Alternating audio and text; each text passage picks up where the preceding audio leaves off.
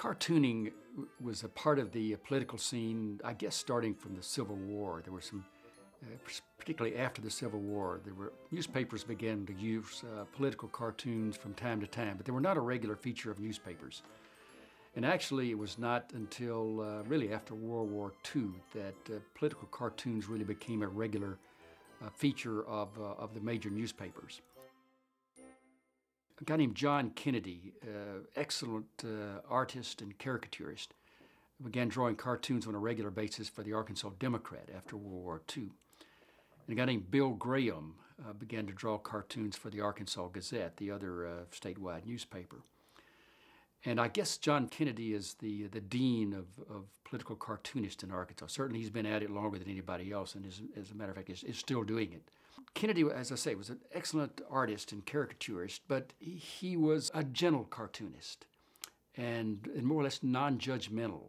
But then along comes George Fisher, in the 1960s and really in the 1970s when George Fisher begins to draw cartoons on a regular basis for the Arkansas Gazette. And Fisher was a different kind of cartoonist. Uh, he was not a gag artist. His cartoons had, uh, had meaning and he was a social critic. And in fact, I think George Fisher was probably the most influential social critic uh, of the last half of the, of the century. Uh, and he had a point of view, and his cartoons reflected that powerful point of view. The metaphors that he drew, I think, captured the imagination of a lot of young people and uh, inspired a, a generation of, uh, of, young cartoonists who have kind of spread across the country now, like John Deering, a splendid cartoonist for the, for the Arkansas Democrat Gazette, uh, Vic Harville, Roger Harvell, their names spelled slightly differently. Uh, Dwane Powell, who started out as a cartoonist for the uh, Pine Bluff commercial and then later did cartoons for newspapers in the East. But there were a lot of, a lot of cartoonists who were inspired by George Fisher and his pen uh, back in the 70s and 80s. When George uh, was in, college, in, in high school, rather, uh, he drew his first cartoon. And that cartoon was, was of Homer Adkins. Um, his dad encouraged him to continue drawing. And uh, so even though, you know, at that time, I think trying to make a living as an artist or as a cartoonist in Arkansas wouldn't have been seen as a real common thing to do, his dad really encouraged him in that direction. He went into the Army in, in World War II. He was an infantryman, and uh, he was a Battle of the Bulge survivor. Uh, he carried a sketchbook with him all during the Battle of the Bulge and uh, made a lot of sketches, you know, in combat situations and, and uh, in the field. And it was during World War II that he met uh, Rosemary Beryl Snook, and that was uh, the lady that he would eventually marry, and, and that was the Snooky of his cartoons. Fisher had, had started drawing cartoons after World War II for a little newspaper at West Memphis, Arkansas, a little uh, raucous little newspaper, hell-raising paper, uh, and it went out of business.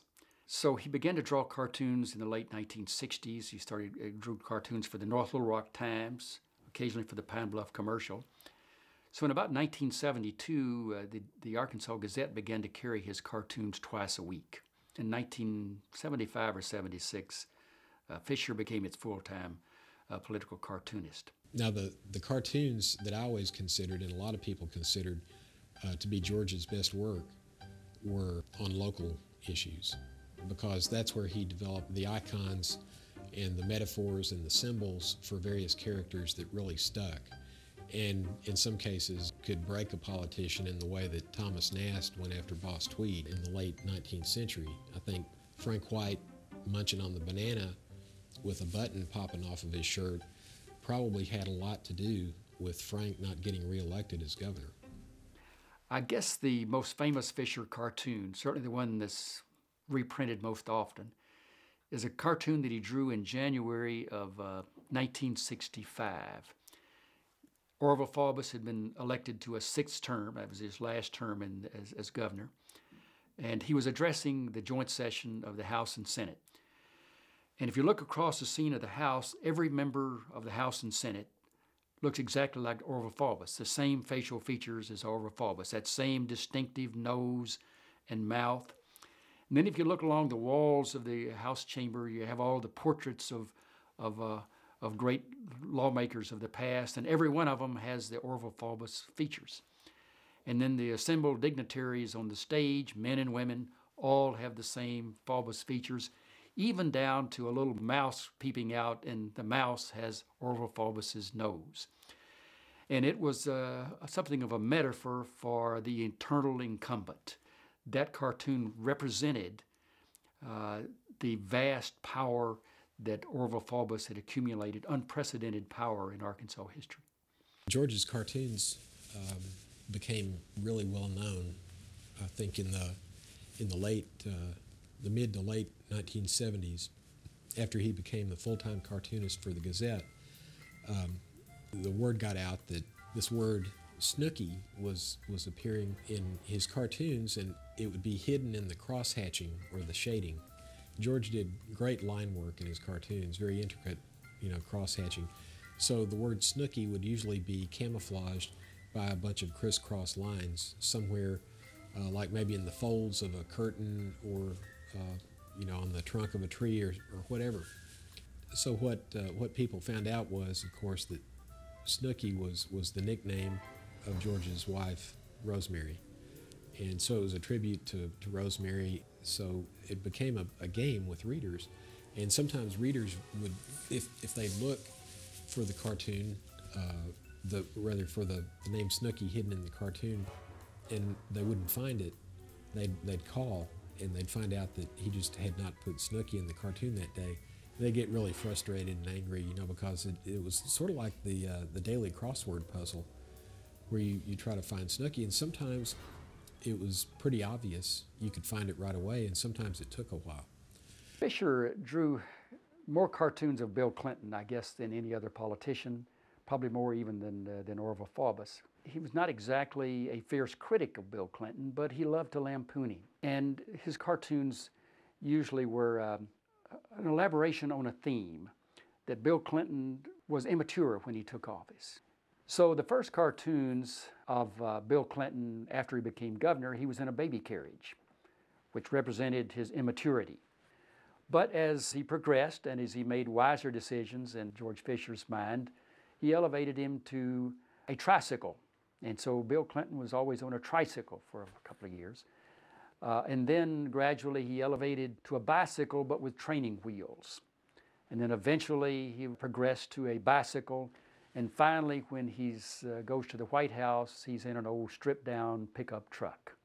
Fisher uh, had a habit of, with every politician, finding something that would come to represent that person.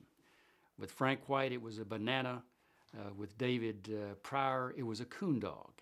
In, in 1977, David Pryor had a plan to share state revenues with the cities and counties. He was telling people that voters back home could either decide to uh, levy taxes on themselves to support a better fire department, better police department, or they could just spend it on a new coon dog.